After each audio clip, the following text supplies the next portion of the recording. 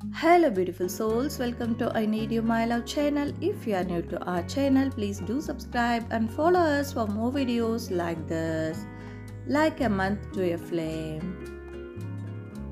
B, I had so many things left unsaid after all this time. It would be so weird for me to just blab about this in a pretend drunk text, so I guess this is as close as I will ever get to telling you. I check your sister's Facebook page every now and then just to see your face again. I guess it's some form of torture I put myself through, but I can't help it. I constantly wonder how you are doing. They say some people get lucky enough to get another shot with someone they love. I was never one of the lucky ones. I wish I had been brave enough to stay and see where things would go with you, but I was in so much pain dealing with my insecurities and obligations.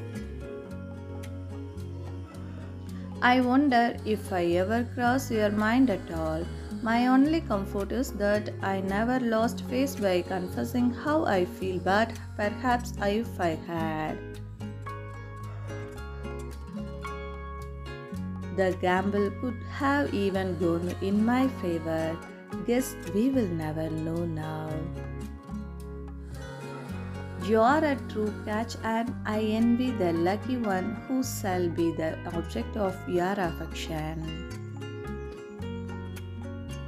As for me, I will do my best to take it day by day and distract myself from the despair of not having you in my life. I'm sorry if I had to fabricate that big lie of why I had to leave work after four months. Somehow I didn't think that telling them it was because of you would go so well. There's definitely days that I wish I never met you. I was so obviously content with my life before you came along but the damage is done. All I can do is wish you the best. I just wanted to let you know that I'm sorry. I'm sorry for all the pain I have caused you in a such short period of time. From the day I met you, I knew that it was gonna be you, the person that I go through everything with.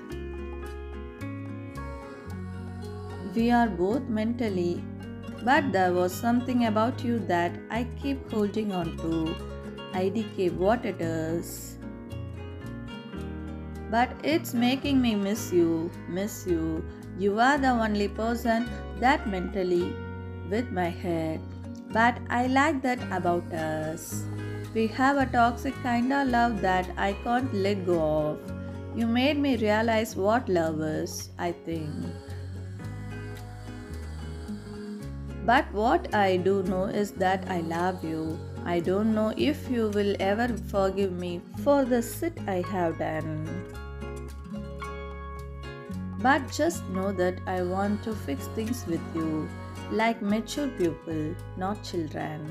I love you.